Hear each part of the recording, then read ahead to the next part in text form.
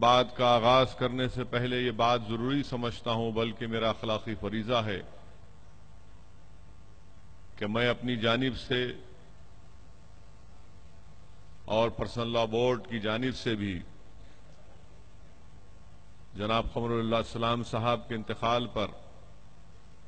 ہم تمام پھر سے دعا کریں کہ اللہ سبحانہ و تعالیٰ ان کی مغفرت فرمائے اللہ سبحانہ و تعالیٰ ان کی خبر کو نور سے بھر دے